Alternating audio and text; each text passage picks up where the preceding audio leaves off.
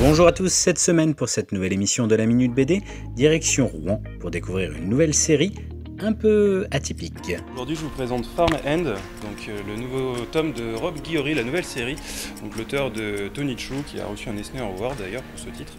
Et euh, cette fois-ci, on va s'intéresser à l'agro-industrie qui va servir aux transplantations. C'est-à-dire que dans cette histoire-là, un fermier a découvert une technique, on ne sait pas comment justement dans l'histoire pour le moment, mais pour faire planter, de faire pousser pardon, des, arbres, des arbres à bras des fleurs pour les yeux, des, arbres à poumons donc, euh, qui vont servir à la transplantation dans les hôpitaux. Donc euh, une révolution effectivement, mais cette révolution a un prix.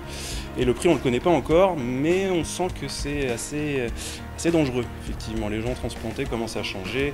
Le fermier qui garde ses secrets même auprès de sa famille, justement, qu'on va suivre en parallèle dans l'histoire. Donc la famille Jenkins qui va euh, voir revoir le, fils euh, un peu indigne de son père, va vouloir revoir son père et savoir ce qui se trame et euh, qu'est-ce que manigance son père justement, en lien peut-être avec la politique de la ville.